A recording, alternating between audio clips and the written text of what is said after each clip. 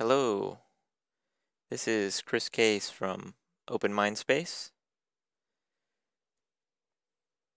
and this is the Open Mind Space podcast. So, tonight's episode will be airing on July 14th at midnight on the Voluntary Virtues Network. And I would like to talk to you about ritual versus spontaneous order and how genuine harmony can only be created without coercion. This is something that I believe most anarchists understand on some level from a Western philosophical standpoint. Interestingly enough, though,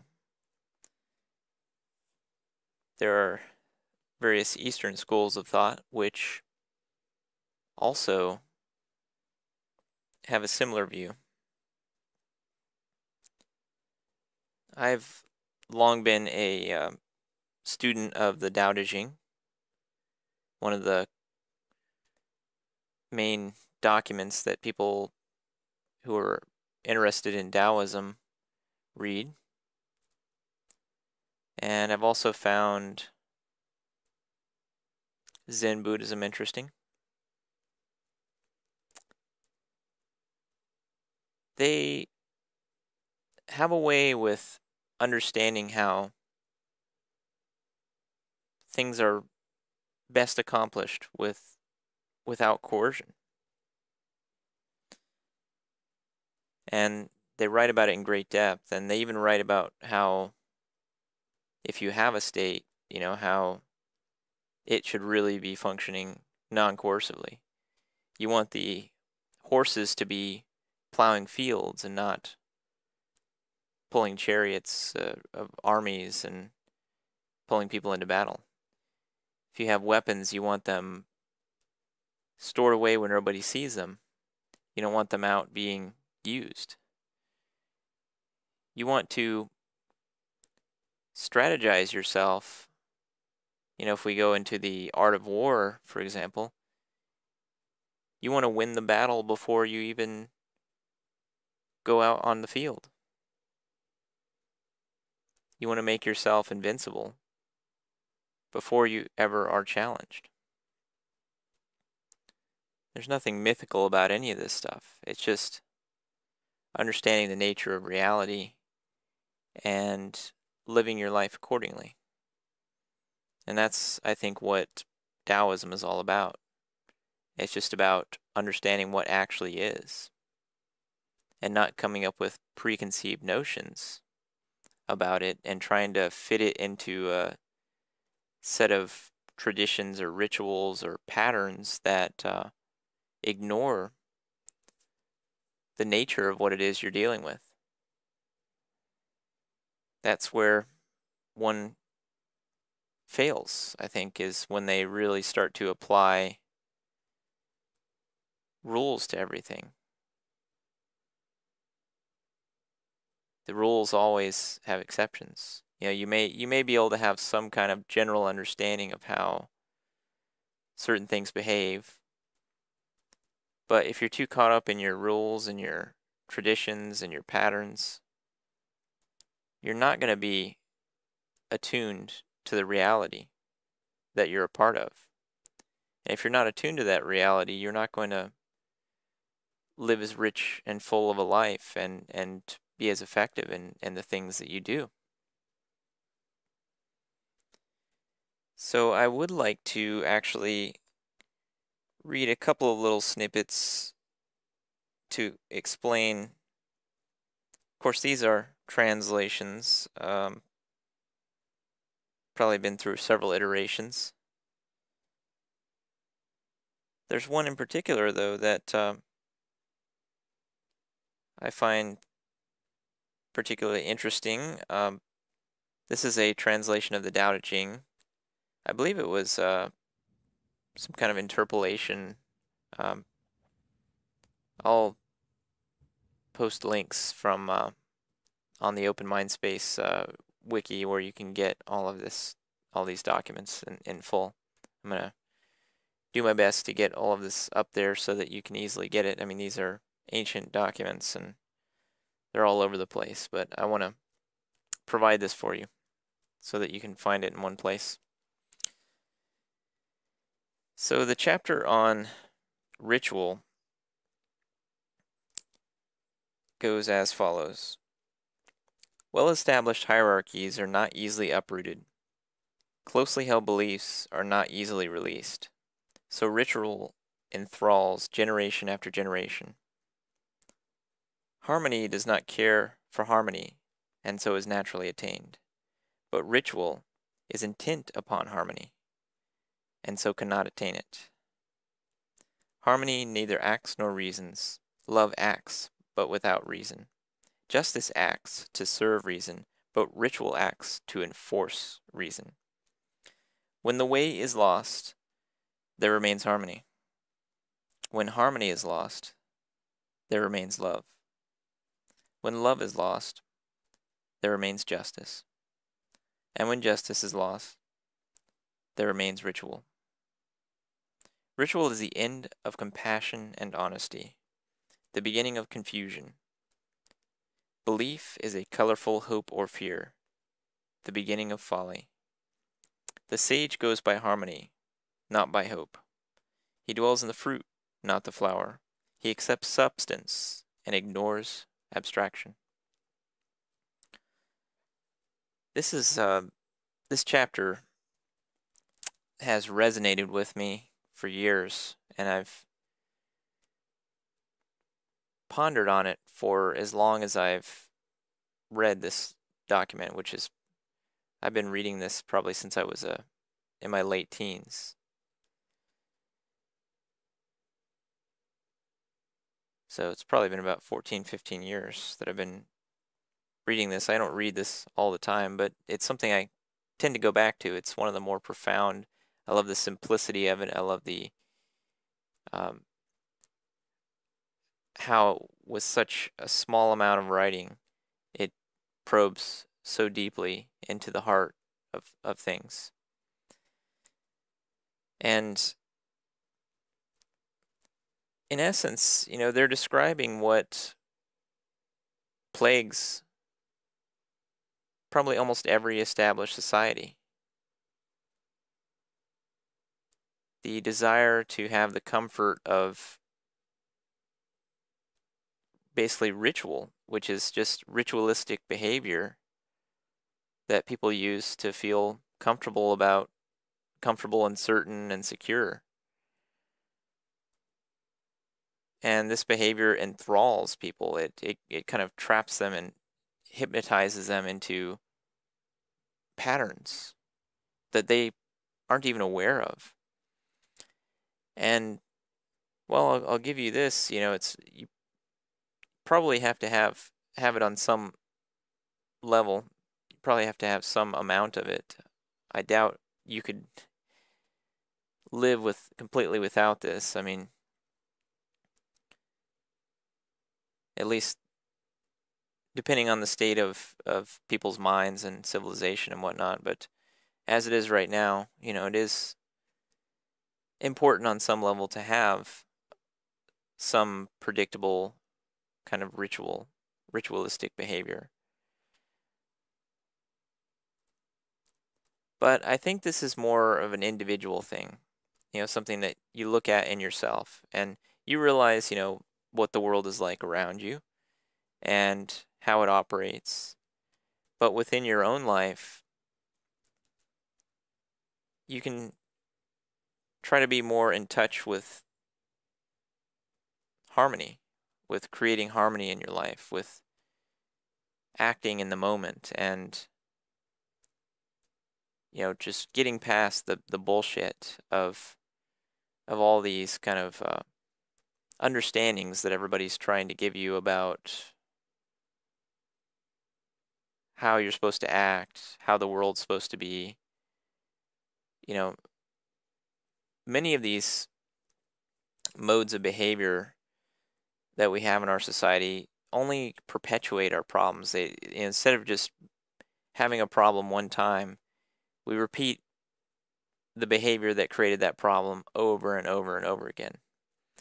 And that's pretty much the essence of statism. You know, statism is just a collection of a massive, massive collection of rituals. You know, that's what laws are. They're just there's laws and all these institutions and edicts and it just over time it grows and grows and grows and it becomes ever more imposing ever more coercive ever more violent. It almost never shrinks and it almost never improves. You know you you may have technological improvements that change things that you know could provide temporary relief or temporary improvement. But by and large, these rituals are they're like a tax. Maybe they're not completely avoidable, but uh, there's way more than is necessary. You know, when you see these um, examples, like uh, many you see it all over the news feeds you know if you're connected to to people who follow um, things like police brutality and and all the stupid um, laws that are passed and all the stupid things that the government does with their military and with their welfare state and all that kind of stuff. You see it all the time. It's all these um, in an effort to create harmony you know which is what the government wants you to believe they're trying to do is make a more harmonious, you know, safe, secure, harmonious society. They use a shit ton of coercion and in the process they create chaos. You know, you have all these people acting ritualistically, all these cops, for instance, you know, uh, they're merely following these ritualistic laws. They don't care about the reality of the situation. To them, oh, I've got to follow a law's a law, and I've got to follow it, and I've got to enforce it. And uh, or they may not even follow it, but they feel like they've got to enforce it. And so you see situations like on on so many occasions take families for example where a parent gets violates some idiotic law that's like a crime against the state, which is a victimless crime, basically. Uh, there's so many of these on the books, uh, so many of these stupid laws. And uh, the parent gets in trouble for this law, they get uh, thrown in jail, and their family gets ripped apart, or they lose their job, or it just creates all this havoc. Or there's all these stupid laws that are maybe well intended, you know, trying to protect children or something of that sort. But when you look at the application of it, you see that what actually ends up happening is children get ripped apart from their families and they get put in these quite often these foster homes. Family gets drained economically through having to fight a legal battle. They get drained emotionally. It tears them apart, it traumatizes them. And all all of it is uh, basically a bunch of robotic systems and, and people, you know, agents of the state, lawyers, and all their collaborators. They work together to dutifully repeat all of these rituals. You know, people get caught with drugs and things of that sort, or they have the wrong size magazine on their gun, or any number of things. There's countless, countless things that that we do that are just normal behavior that are perfectly where we're perfectly at harmony with our fellow man. Where if the state were to you know some agent of the state were become aware of it, they would feel it their duty to coercively change your behavior, to punish you, to penalize you, to stop you with coercion. So the intent behind it, maybe at least at the inception of the the creation of the rules, was to create harmony. But that's not how harmony is attained. I mean, if we take the an analogy of a pond, you know, you've got a pond with a bunch of, you've gone in there and uh, stirred it up with a bunch of waves. You know, you've taken your hands and just stirred it up, or taken a paddle and stirred it up. And uh, it's a pond on a windless day. You know, the way to return it to harmony is just to let it alone. It will settle. It will, equilibrium will be regained. But the way the state tries to do it is they say, oh, there's waves. We'd better neutralize these waves. And it's like taking a big paddle and trying to offset the waves, but really it just gets wavier and wavier, and more and more chaos is created by it. That's what coercion does. It's what it does, you know, in the sphere of the state it's what it does in the business world. It's what it does in our in our families. It's what it does in our own minds. It, this is a concept that you can apply on on any level. And that's I think the beauty of of this simple understanding. You know, there's so many problems in the world that have the same cause. And it's because of our thinking about how how to go about solving problems. I noticed that there's do you ever know have you ever known somebody who's takes everything really seriously. Like they can't, they just can't have a good time. Whether it be, you know, somebody who's a parent and they've got kids or they're at work trying to do their work, you know, trying to solve problems or whatever it is they do at their work. But they always have to have a bad time with it. They always have to be aggressive and coercive with it. And you can tell that it's something that goes on in their own heads, that they themselves don't realize the deleterious effects of their own coercive attitude about everything. You can hear it in their voice. It's almost like they're always they're always on the verge of yelling. They're always kind of grunting their way through life.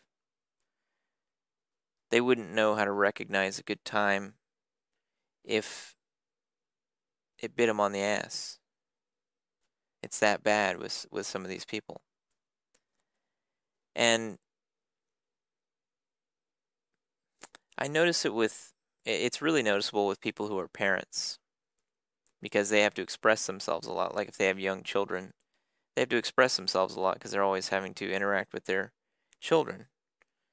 And you see them, they're just always like, you know, raising their voice at their children and trying to control their behavior, trying to just micromanage them. And thinking that this is somehow going to produce harmony in the lives of their children. It's just like being a state. It's just like uh, like the state tries to operate you know, thinking you can just write the perfect set of laws, perfect foundational document, and that that will somehow fix all your problems. You'll have checks and balances and all this other fabled nonsense that the state claims creates great harmony in the world. But that's what you see is you see these these parents they don't even notice that they're doing it. And and it's it always you know ever since i had my own children and i really focused in on raising them non-coercively and calming my own emotions and reviewing you know looking back uh, you know retrospectively on a regular basis at my behavior like i like to look back at my behavior you know this is a constant process that self-cultivation is a constant process and we all have to do it you know we may not be focusing on that particular concept all the time but we've got to look back and we've got to see who we really are. And we've got to see how well it's working out and be honest about it, you know? And I've been cultivating this in myself and I you know, I I've always got work to do. I mean, I think we've all got work to do no matter where we're at. But I've done a lot of work on it. And I can catch myself if I start feeling coercive, uh, intense arising in me. I can catch that before I act on it and understand it and let it go. And in a way, it kind of allows me to let go even more than I had before because I feel that upwelling in my in my mind in my being and it gives me an understanding of what's going on deep down inside. So rather than just blurting it out and letting it out, uh, and and giving making everybody have a bad time and experience the negativity of uh, of me trying to coercively do something that is obviously not going to work, not going to help anything. You know, when I'm handling it well, I'll notice that and I'll learn something from it. And, and rather than it being a necessarily negative experience, it's like a it's like pulling a weed. It's like, oh, there's a weed. I didn't realize that. You know, going through the experience of your life is kind of like cultivating a garden in a way. You know, it's constantly got to be cultivated. There's constantly weeds coming up. You need to pull those weeds, and then you can take those weeds. And uh, I think in uh, some traditions, uh, farmers would take the weeds that they'd pulled up and they'd bury them, and those weeds would then become fertilizer. They'd, you know, would compost under the underneath the soil or in the compost pile, and would become fertilizer. And that's how it should be in your in your mind. You know, you've got uh, all sorts of different energies going through your mind at any at any given time and and you weren't trained most likely to understand the mind on a very deep level and so we're all kind of uh, amateurs at dealing with the mind at dealing with all the the pressures all the forces and emotions and factors that are tugging at us constantly that we've got to keep in balance it's a very challenging thing to do and remain at your center. And and the only way to really do it is to raise your awareness and to gradually cultivate yourself so that you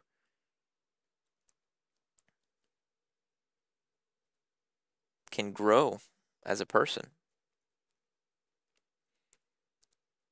And this is one of those kind of things where if self cultivation, you know, it's something that happens on an individual level. But the more of us that do this, the more novel life becomes for everyone. So, for instance, you know, to take it back to something that many of you may be familiar with, I've had several experiences of kind of realization where like I've been on you know Facebook for a long time and I've been connecting and networking with uh, people who are libertarians or conservatives or anarchists or you know just people who are um, understand certain concepts that I resonate with. And I've noticed that um, I think people go through cycles of evolution as they as they do this, but I noticed on many occasions I would kind of step back and I would realize that most of these people, at least at the time of the realization, are just echoing off of each other. They're just repeating what one another says, what what's already been said, what's already been done. That that in a, in a way is a kind of ritual. It's like they they maybe agree on certain concepts. Many of these are great concepts, I'm sure, but there's not a lot of going beyond that and going taking it to the next level. And you know, of course, the next level is you know they want something. They want to to see greater harmony in society. How do you create the greater harmony in society? Well, repeating what's already been repeated for you know tens if not hundreds of years by authors or speakers or whoever they are, that can have an effect that can kind of bring those concepts to life in the modern mind, and that's that's wonderful. But we've also got to figure out just how that translates into action. Because the world is just people acting, people doing. And you can have great principles and philosophies and and whatnot, but um, in order for it to actually change, our actions have to change. We can't expect to go through the same routine every single day, plus maybe reading a book about something and or sharing quotes and memes and things of that sort while still acting, you know, in the concrete actions that we actually do the same exact way. You know, I, I remember some I spent much of my my childhood of course in public school and uh, watching television, watching movies, things like that. That was a pretty, you know, doing homework, going to school activities. That was a pretty normal childhood, I guess. After a while, though, I started to notice the pattern, though. You know, it seemed new for a while because you're you're new to the world and you haven't seen everything. You haven't seen all the basic uh, archetypes and patterns yet. But after a while, I think when I started getting into my teen years, maybe high school age, I guess, especially when I was in uh, of college age, uh, my 20 early to mid 20s, I started to see these patterns I would say it must have been in my teens actually when this really started to hit home. I started to see, you know, repetition in television shows and movies and just I watched so many hours of this stuff that I started to see the patterns and I was like I was starting to get bored with it. I was like, why why are we sitting in front of, you know, the I think the average American, I guess, spends something like 4 hours a day watching television shows that's what the number was back then. I don't know what it is now and how how the different mediums have changed that, but that's uh, supposedly uh, what the number was. So I started to realize, you know, this is where my time's going. My time is going to spend, you know, sitting here and repeating the same thing over and over again, watching commercials for a bunch of the time, watching shows that repeat the same shit watching movies that rehash the same stuff. You know, occasionally a show or a movie would be something fantastically groundbreaking, you know, at least to me. But um, by and large, it wasn't. By and large, it was just uh, walking in a circle over and over again. Not walking down a path, but walking in a circle. And really, I'd rather be walking down a path. I'd rather be getting somewhere, seeing new things, experiencing novelty.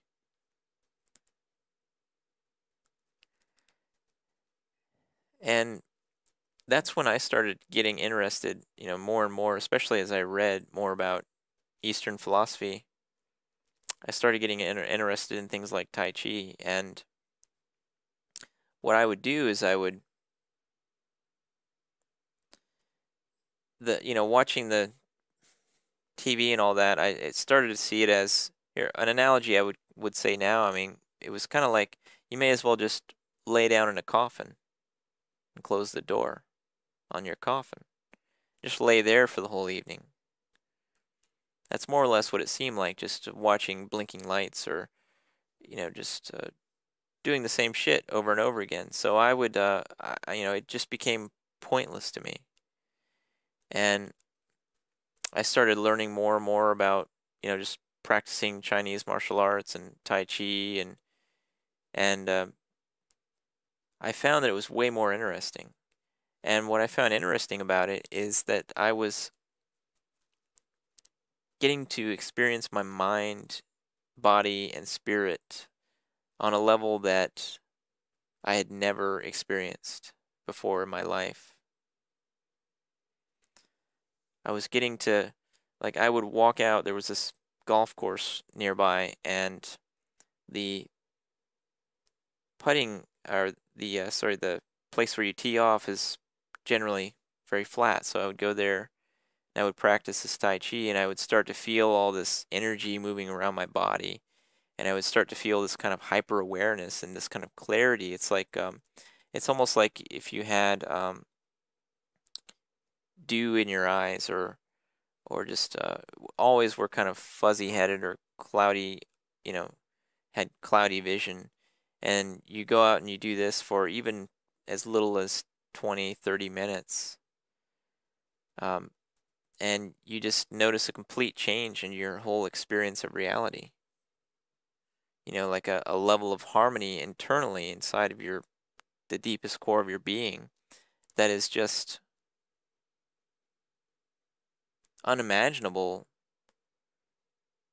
in the previous, you know, in the other paradigm that you were in, in the highly ritualized and controlled paradigm. You know, this ritualized controlled paradigm is, it's geared towards controlling your behavior, keeping you busy, you know, keeping you in the same set of experiences. This is unbounded experience. This is a chance for you to really get to know yourself.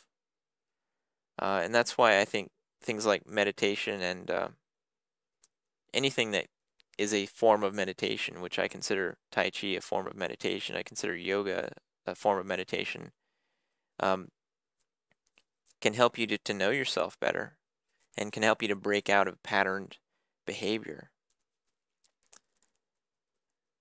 And I mean, I think reading can do that too.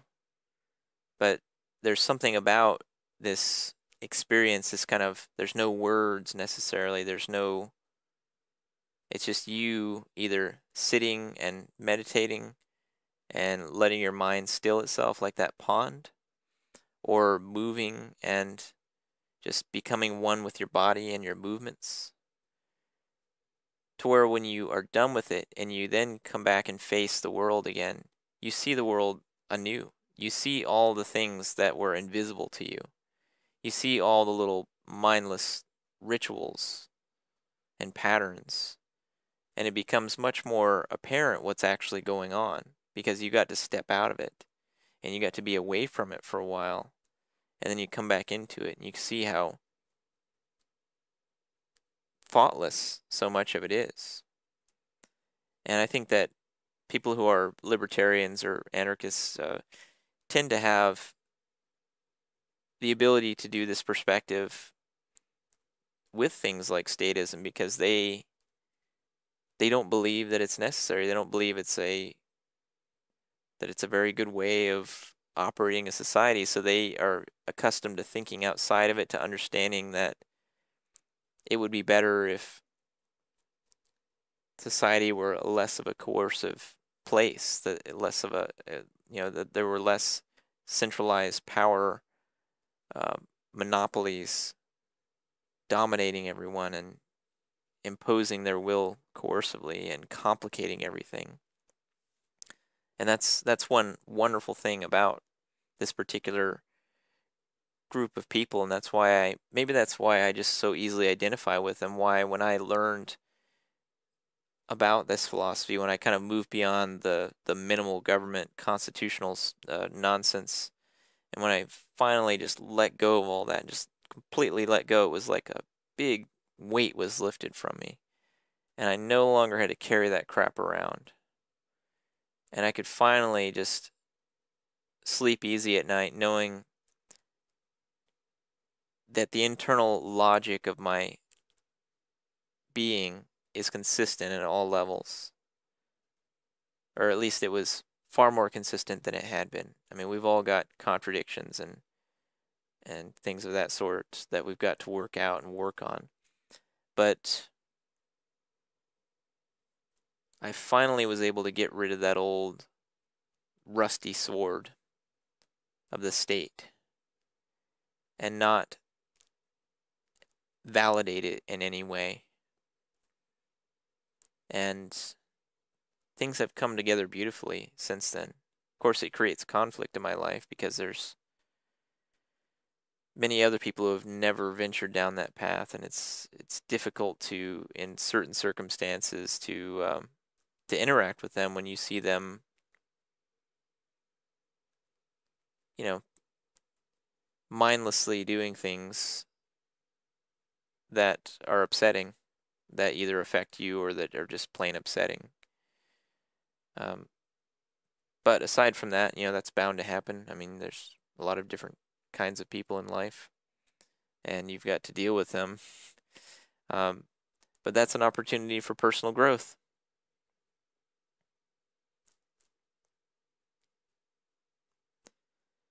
So I guess what I, you know, what I'm getting at on a fundamental level here is that uh, I really appreciate what I've learned from from anarchists and and libertarians and about what they what they've uncovered and what they've written and produced over the years. And I think that if there's anything I can help to bring into the fold, it is that there's much that can be learned from studying Eastern philosophy as well. And honing your mind, body, spirit, you know, complex. And being able to to really not only have this rational world on the outside of you, but have a real understanding of your inside, your internal world. And I don't think that um, Western philosophy adequately addresses that in most cases. I think that uh, many of these Eastern practitioners really did work very hard on developing the internal world and cultivating it. And they saw it as a real thing, as, you know, not as some kind of uh, sketchy abstraction that is uh, unreal, not as, um, you know, I, I think the, uh, most people in the Western world seem to fall into very few categories when it comes to how they and this is of course just my perspective i could be wrong but i see it as uh, there's a few categories that i've seen in the western world uh, that tend to dominate, you know, tend to be predominant, you know. Uh, one would be like the religious way of perceiving one's self, you know, like uh, Christianity or, um, you know, Christianity being the biggest one in all the various forms of Christianity. And personally, I see that as a very, uh, you know, one can possibly um, evolve through that if they uh, if they came into it as a decent person, you know. But uh, there's a lot of complexity to it, and there's a lot of a lot of things that could derail one in their search because there's a, a lot of coercion and violence and horrible things, you know, in these books. And I've seen so many people embrace it as you know trying to create harmony by embracing this complicated script you know dogma and and getting into ritualistic behavior through it and uh, you know maybe there's value to be gained by just reading these books and trying to understand the lessons that you can get out of it. But trying to um, set up a strict set of rules that is just for the sake of having rules and to to claim that you know there's some supreme being that's set forth these rules and that if you disobey them that something coercive is going to happen to you it's just the same kind of thing as uh, statism it's uh it's just an internal statism um, it's a very deep level and i think maybe it's in many ways it may be the root of the modern day state you know, they always say it has Christian roots. well, that wouldn't surprise me at all. I mean, there's some good basic behavioral standards on some level, but there's also a lot of really horrible behavioral standards that are espoused in some of these books and we have to have a you know an internal harmony about ourselves to understand these things. So I mean, really, the the value is is going to be limited by that. We've got to already have you know the the core understanding of ourselves and how the world is and, and, and so on before you know we even delve into these complicated texts and so I, I think the value is, is limited there. So I've found that many people who are who are religious often don't search for deeper answers. They they have faith. They just say, well,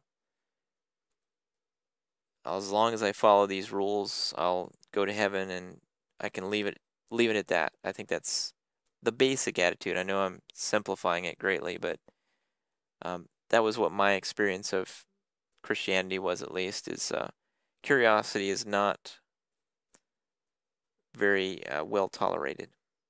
You're, if you're curious, like I even went to a relatively uh, moderate church when I was a, a kid, and uh, I was curious about all sorts of things, and many of the things, you know, seemed ridiculous, and I would ask questions, and I would, I would be coerced, you know, I would be sent out of the room their ritual is so strong that you can't even question it.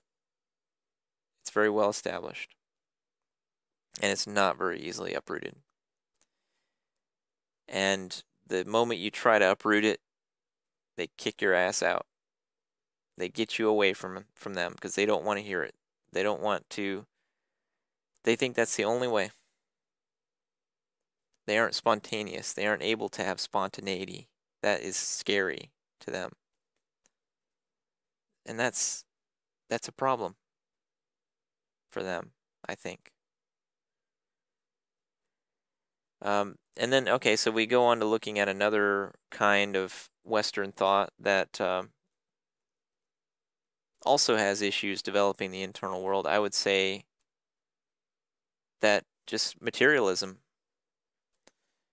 this kind of uh, materialist thought that many scientific people have, Um, it's a belief system. There's certainly a lot of value in it in many regards. There's many things that are accomplished quite well and many kind of connections to reality that they're able to have that weren't previously possible without a grounding in materialism. Understanding, you know, the measurable world, the measurable, observable world that you can experiment in and and all that kind of stuff. The um, the area I think that materialism uh, fails, and this is what I think affects a lot of anarchists because many of them are materialist atheists, um, is in the belief about the self and the mind and the brain. I think there's quite a bit assumed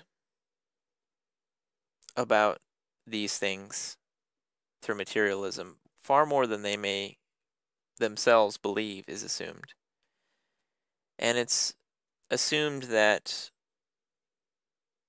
our entire being is just happenstance from a neurological network of cells that are connected and that that's what we are right there. That we're the physical cells that are connected to each other and that that somehow generates consciousness and reality. And that's not really, you know, there's certainly things you can experiment on and find that, you know, damaging certain parts of the brain does indeed damage one's faculty for certain things. But I don't uh, know that they've actually gotten anywhere close to proving that the brain creates consciousness. I'm partial to the idea that the brain is more of a interface with the body and consciousness is actually a another phenomena that may not be necessarily explainable by material uh, explanations. And part of the challenge that you have here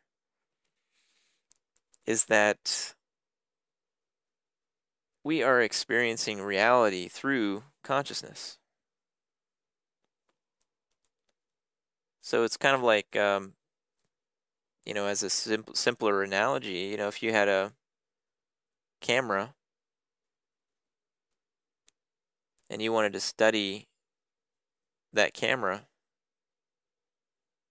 you would have a very difficult time doing so because you are, you know, it, let's say all you could do was view things through the camera in order to study the camera. Well, you're viewing things through the camera. You can kind of understand some characteristics of that, but uh, it's going to be a very roundabout study. And the study of consciousness is the same kind of way. You know, we we obviously we have a consciousness, we have an awareness. We can we can see, taste, touch, hear, smell. And there are things that we can do, I think, that are not so simple as just those five senses. And that's something that you get into when you start talking about energy and the meridian system in the body, the the chakras, the meridians, the the chi, and all these kind of subtle energetic forces that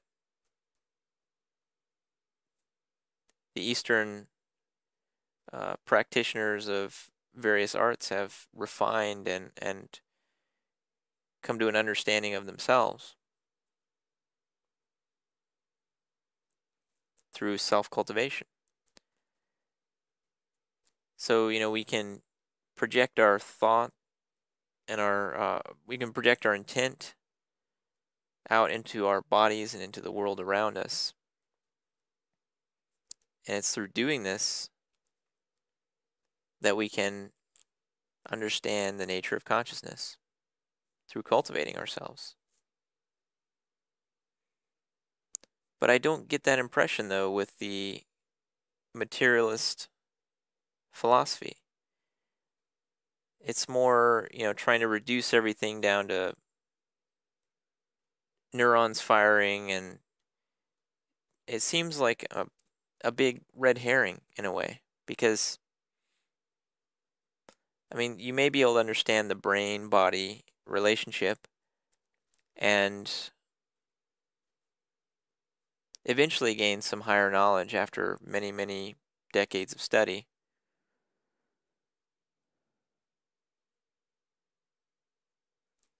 But I think the level of depth of knowledge about yourself that you can gain from that is limited. And so you've got to keep it to its proper sphere, I think. It's going to be valuable in in some regard in knowing how the brain and the body interrelate and how to maybe repair lost functionality in the event of injury or cure certain diseases or, or so on. But consciousness is a much different phenomenon that require, requires a mastery of self that um, I don't think all the scientific studies and measurements uh, in the world can really can really get to because those are just too um, complex. You know, they're they're too. It's a very personal thing. You know, our mind is a very personal thing, and we've got to be able to still it and to calm it and to study it through constant feedback and constant awareness.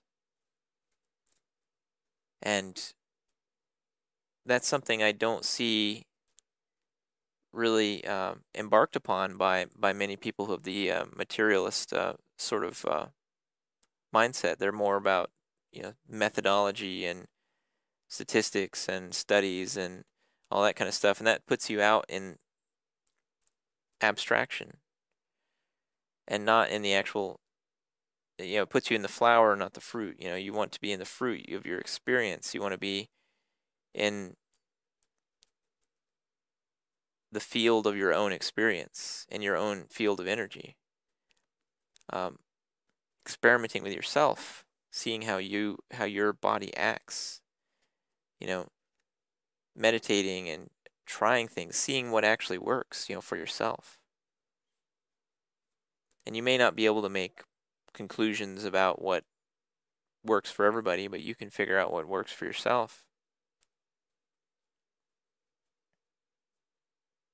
How to bust out of old habits, out of old rituals, routines, and to live a more rich and novel life.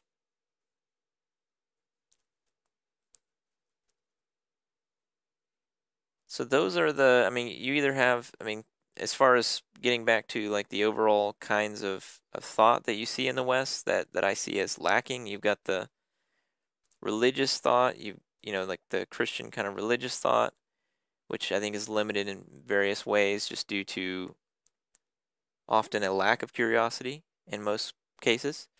You've got the materialist thought that is limited due to just rigid beliefs about what consciousness can be and how this it's believed that it's just a an accident and that it's a material phenomena. You know, it's viewing consciousness as a material phenomena, even though we are actually experiencing reality through a more energetic phenomena, and that the material may merely be a representation in our minds of something that is actually energy. I mean, we know that matter is energy, that it's like looping energy of some sort. It's all one and the same, it's interchangeable. And consciousness is the experience of matter, or that's part of it. You know, it's our experience of our of our existence through matter, and then of course we've got dreams, which is a completely uh, energetic sort of experience. But there's matter representations in our dreams too. So it seems like there has to be some kind of matter for consciousness to act on, whether it's in our dreams or in the quote unquote physical world.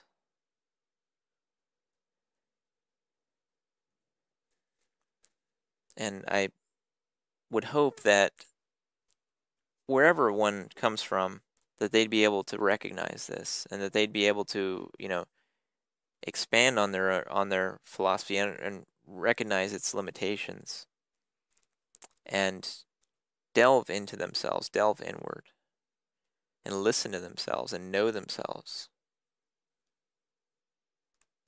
Because it is this self knowledge, you know, really gaining genuine self knowledge and facing yourself as a beginner, not as an expert. You know, it's like everybody thinks they're an expert, or many people at least think they're experts. They think they're an expert on, you know, like if you're a religious person, you think you know, you know what's going to happen when you die. You know why you're here.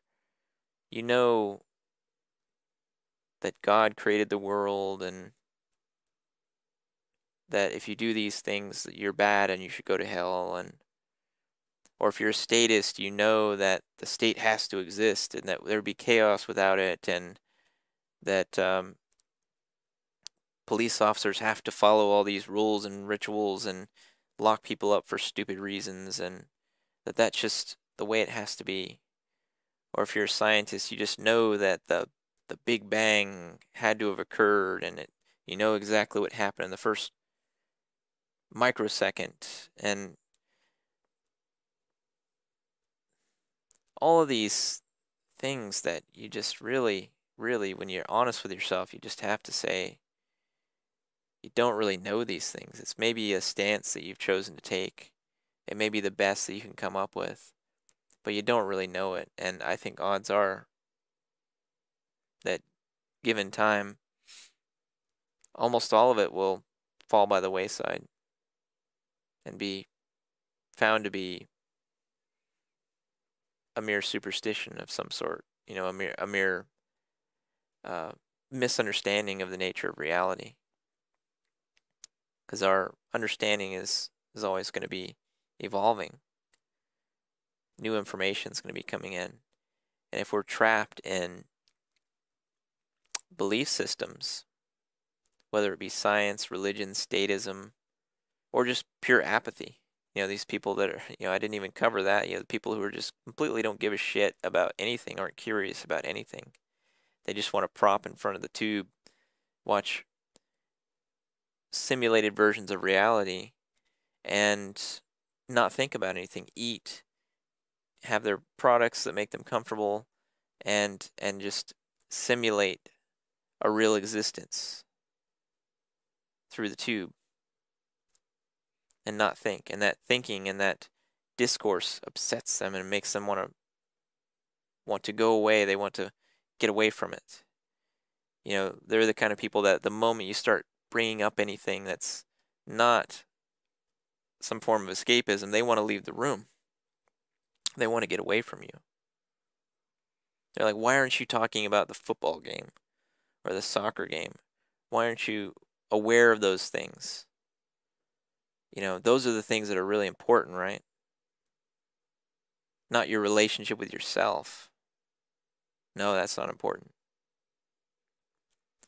Or understanding, you know, things that we can do to make a more harmonious society, to reduce the amount of suffering in the world, or to at least learn how to cope with the suffering that inevitably will be there. You know, that's what I think Buddhism is all about is understanding that suffering is a part of of physical existence. And that on some level we just have to learn the reality of the situation and to accept it and to become one with it and to not let it not torture ourselves about it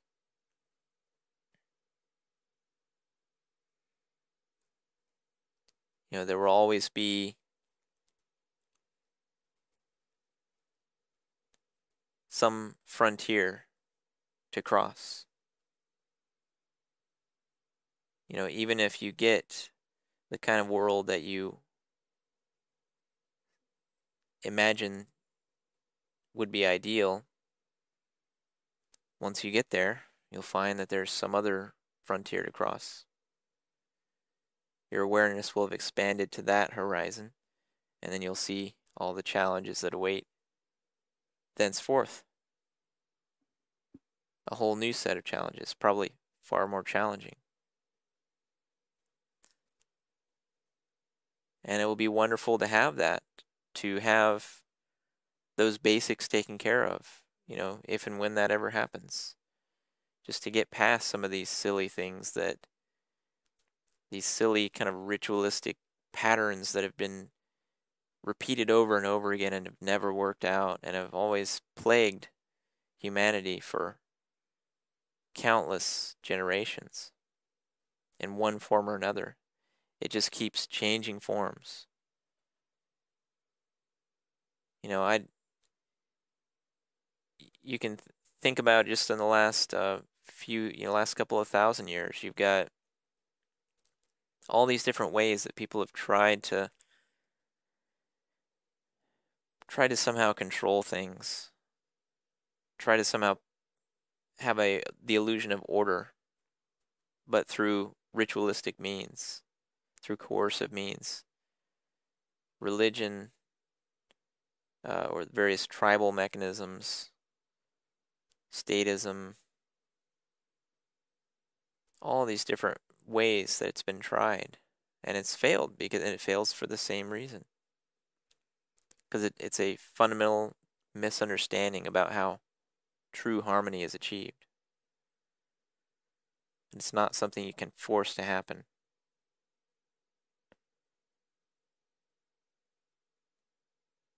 No more than you can force somebody to love somebody else or to have a good time. You know, you can't force these kind of things to happen. And there's, you know, harmony would be like the highest level, just true harmony. You know, and it's the kind of thing that you feel like when you're meditating or doing Tai Chi or reading a good book or having good sex or whatever it is. It's the kind of thing you feel, you know that you have, at that point, you have reached a high state of excellence. That you are harmonious in that moment. But it's a fleeting thing. It's not something you can just possess. It's not something you can necessarily attain. It's something that emanates from you when you're under the right circumstances in the right state of mind. It emanates from you and you cultivate it and it grows and it grows. And you don't necessarily possess it because the moment you stop creating those conditions the moment it goes away. You know, there's some interesting uh, theories that I that I like to think about um, about the the deep, deep history of humankind, and many believe that there was a highly advanced civilization prior to our prehistory that was wiped out in a disaster of some sort. So I I think the the understanding that I have is that there was a ice age civilization and when the ice age melted it created a lot of chaos and you know this chaos led to the downfall of that civilization but that we still have evidence of it. So aside from you know getting too deeply into that that theory, um, if there was some kind of Atlantis type civilization, some highly advanced, you know, technological, spiritual, and otherwise, you know, civilization that just had many of the problems that we now are are fighting right now and dealing with, uh, had all that figured out, obviously they didn't hold on to it. You know, if if they were if they were around at one point and had some vast understanding of reality, it wasn't enough for them to hold on to. And whether or not this is true, I guess is a moot point. But it is a challenge no matter where you are. Is maintaining your level of mastery of self. Because all of the great things that happen outside of you start with a mastery in yourself. And all the great things that will happen in the world will happen or won't happen as a result of people choosing to master their own self and know themselves. If they don't want to do that, then a lot of ignorant shit is going to continue to happen. I mean, why do you think that cops, for instance, act so barbarically so often? I mean, why do you think that they are so quick to shove people or shoot people or arrest them over stupid things?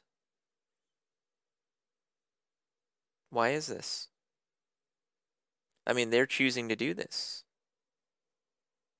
They chose to become cops.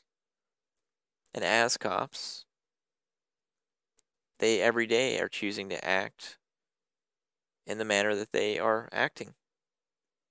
Why would they do that?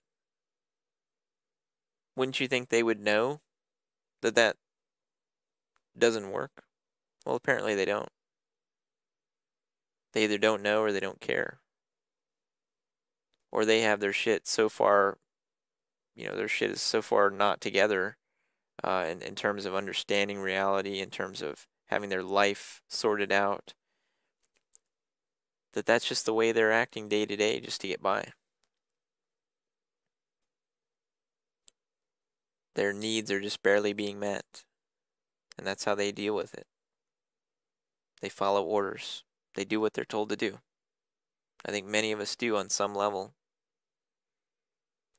There's at some point where we will do what we're told to do because of fear, because of coercion, because of factors that really, if they weren't in our lives, we'd be able to grow a lot faster and a lot better, and we'd have our resources uh, allocated, I think, much more rationally. You know, if we had rational uh, understanding of ourselves and cultivated ourselves, really, uh, we're able to put our energy where it's most effective rather than just going through these blind routines where you've got to go somewhere for this amount of time every week and whether or not you're actually productive is irrelevant uh, on some level and follow the the you know follow the rules and the rituals and patterns and all that kind of stuff you know i see that there's a place for it on some level but i think it often goes too far and it often wastes our potential. You know, um,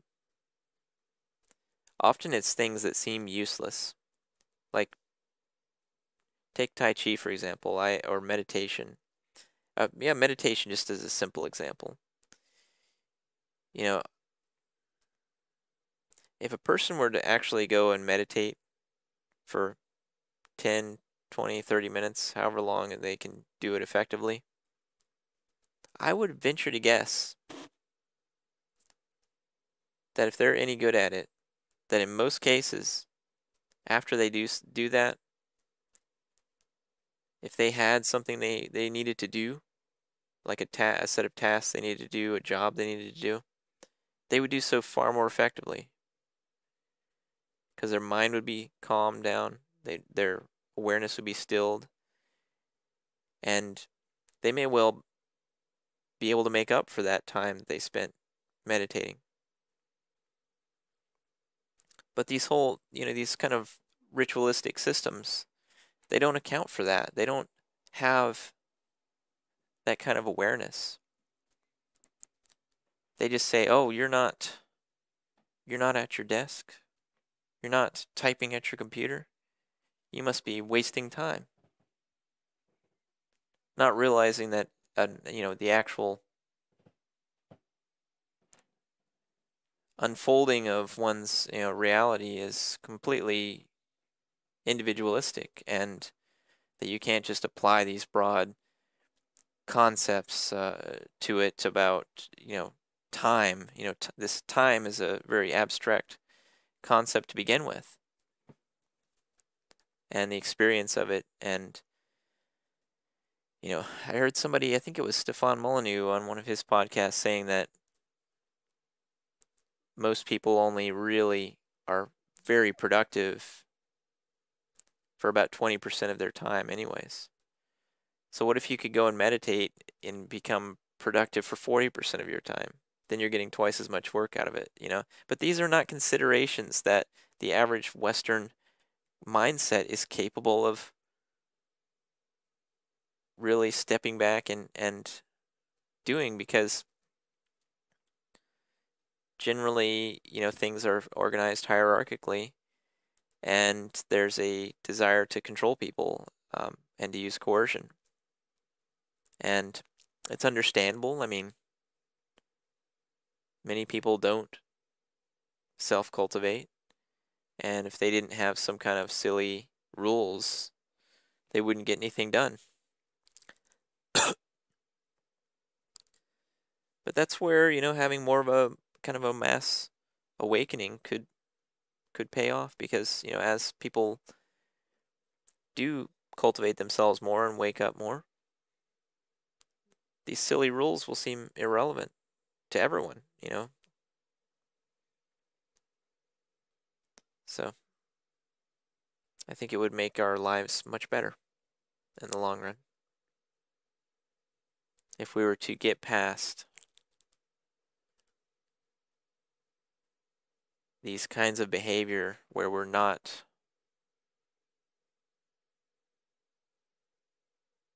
being aware in the moment that we're actually experiencing, where we're kind of trying to escape from who we are, where we are, what we are.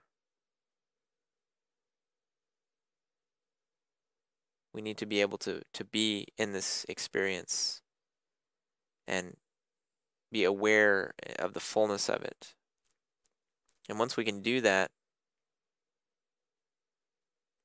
we'll see the answers to, to many of our most vexing problems. They'll just be obvious. You start to see the problems very easily.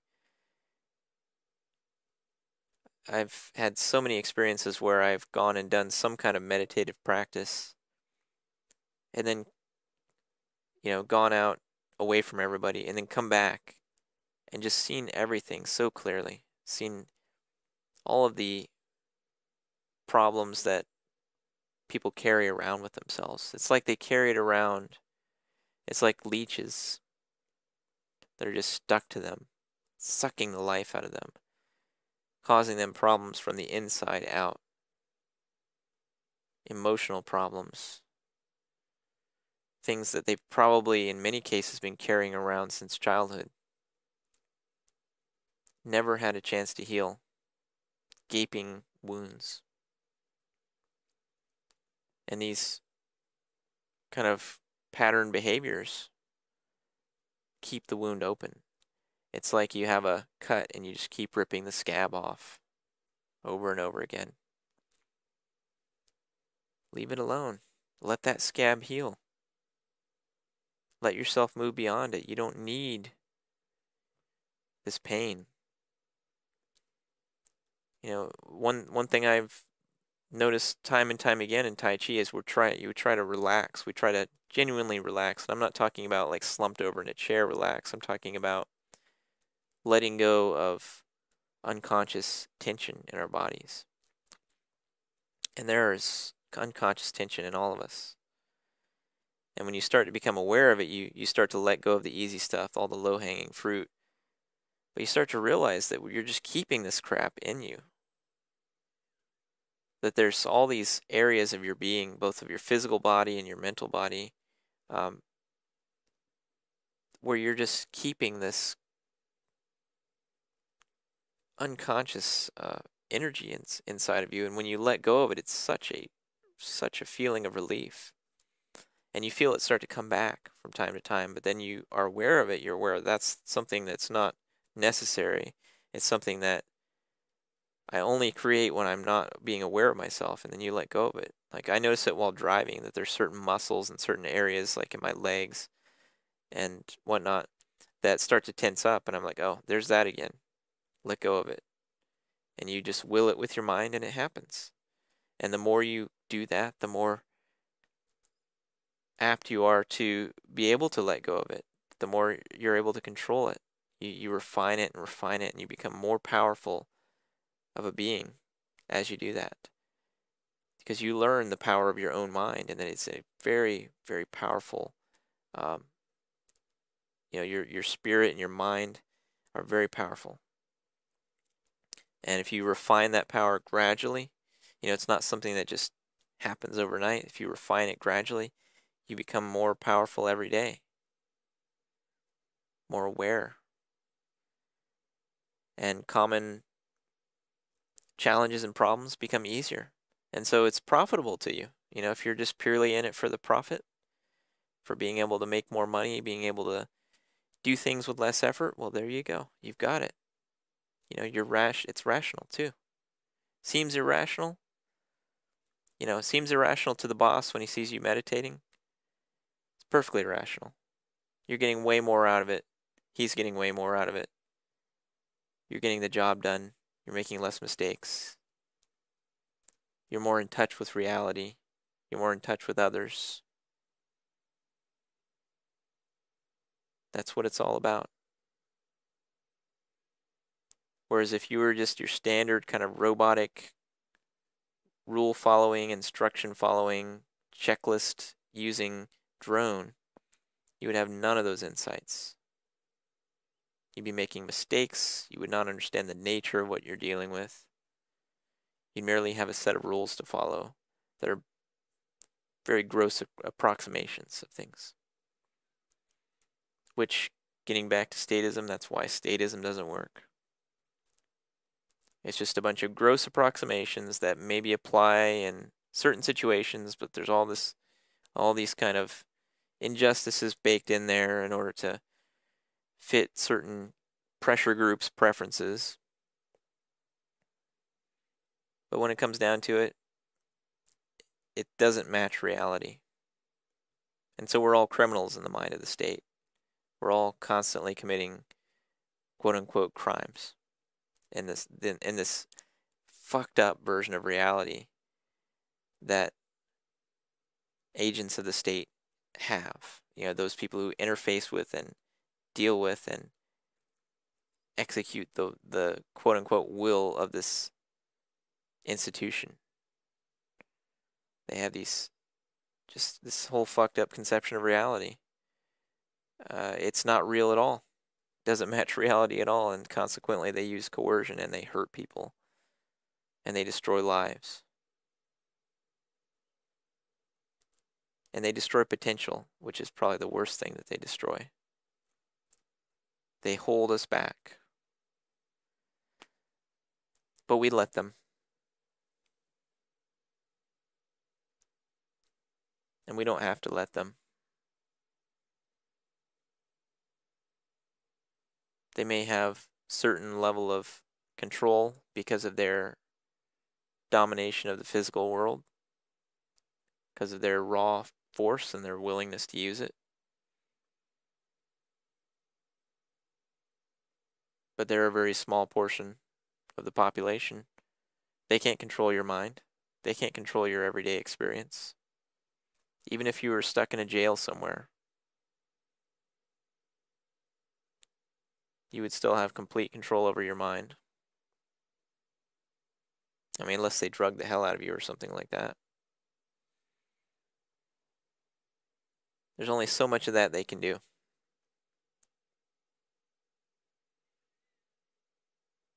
It's only so much that they can accomplish co with coercion, but there's so much that you can accomplish in your own life with self-cultivation, with turning the garbage of your life into flowers, taking the things that you don't like, understanding them, and turning them into the things that you do like, raising your level of awareness, solving your problems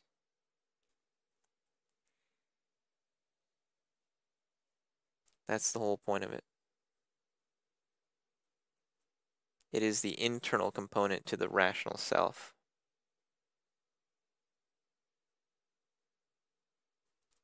And it's something that only you can do, because only you are inside of that mind of yours. And it's completely up to you how you use it. You can't farm that one out. You can't let an expert take care of it. You have to be the expert.